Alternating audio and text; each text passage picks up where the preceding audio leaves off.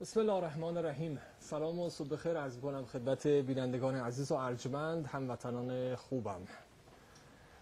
آغاز محرم اولین روزش هستیم و عزای حسینی رو خدمت همه هموطنانم تسلیت عرض بکنم حال هوای اردوی تیم ملی ما هم در واقع محرمی شده با توجه که ما قبلا تصاویرم حالا زودتر داشتیم. بچه ها به رسم ادب و احترام به ماه محرم در واقع پارچه های مشکی رو به لباس های خودشون وصل کردن و در واقع شرایط رو به شکلی به وجود آوردن که احترامی گذاشته باشن به ماه محرم.